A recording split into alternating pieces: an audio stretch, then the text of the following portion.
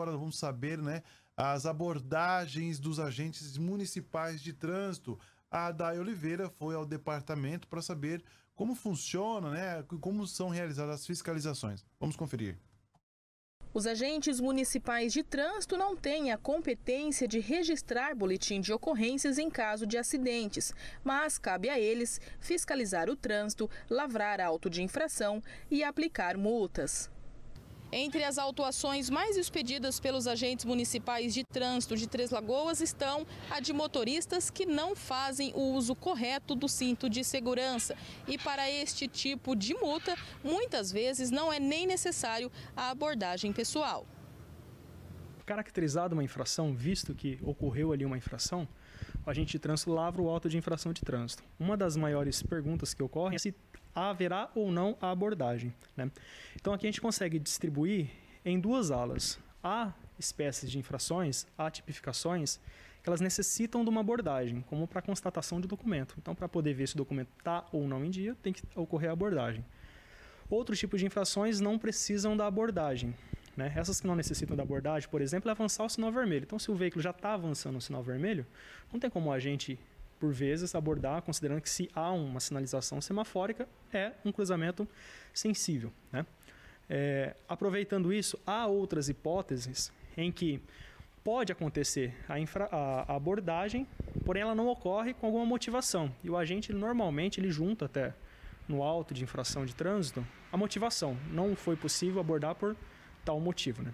seja ele climático, seja ele geográfico, pelo fluxo do, é, de veículos ali naquele momento. Né? Então ocorrem essas duas distinções. Dito isso, o segundo procedimento é a notificação, então é propriamente o envio até o endereço do proprietário, em regra, no endereço do proprietário, daquela notificação. Dali abre mais duas possibilidades, ou ele aguarda receber a multa, que aí sim existe a multa, ou ele já faz a indicação de um condutor. Não fui eu, foi um, meu pai, uma outra pessoa, né? E, ou então ele apresenta o recurso. Né? Então, basicamente, isso aqui é, é o ciclo, né? o processo todo dentre a abordagem ou não, que é a lavratura do auto de infração, até se tornar ou não uma multa. Algumas pessoas até têm a consciência de que quando há uma multa, foi merecido. É chato, mas às vezes também é necessário, né?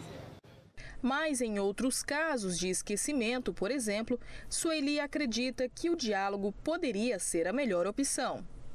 O meu esposo que uma vez recebeu uma multa, né, até recolher a moto dele porque estava com o documento atrasado. Ele não tinha prestado atenção que o documento estava atrasado, né?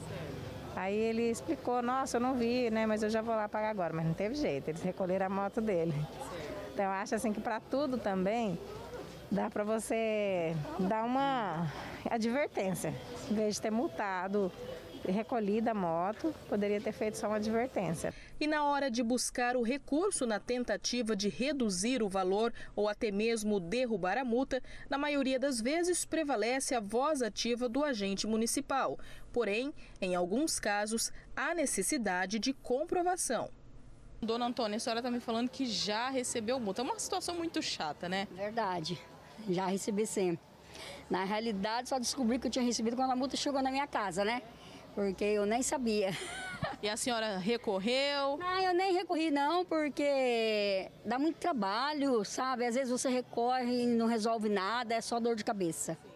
Os atos públicos em geral, eles presumem veracidade. Né? Então você presume que aquilo realmente tenha acontecido. Em alguns casos, haverá necessidade de ter uma comprovação, como por exemplo na sinalização eletrônica, que para poder considerar que houve ou não o excesso de velocidade, seja no radar móvel ou naquele fixo, tem que ser comprovado. Né?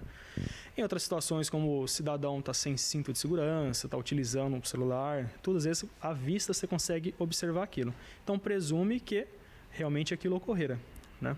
Afinal, fica ali num, num em um lado você tem acontecendo aquela infração e no outro lado a gente tem que lavrar o auto de infração de trânsito. E a partir disso então abre a possibilidade de recurso. O, sobre o recurso, a gente pode analisar e apresentar duas oportunidades, pelo menos. Né? A primeira oportunidade é quando chega a notificação de autuação.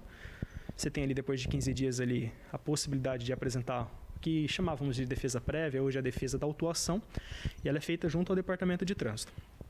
Depois disso, quando chega a multa, então a multa é o boleto para você pagar, tem um valor, você tem a segunda possibilidade. E aqui você faz a apresentação a Jari ou Jari, né? que é a junta de recurso, de infração. Finalizada aqui, você tem uma terceira possibilidade ainda, que é o CETRAN, que é o Conselho Estadual de Trânsito, e aqui você encerra então a esfera administrativa recursal. Mas o importante é que quando se fala em trânsito, acima de tudo, falamos de vidas, de segurança. E obedecer às regras significa preservar a própria vida e a do próximo. Mas a senhora está sempre atenta às leis de trânsito? Sempre atenta às leis de trânsito, porque né, a gente tem que estar atento, senão, além de causar acidente na, na vida da gente, causa acidente na vida do próximo, né?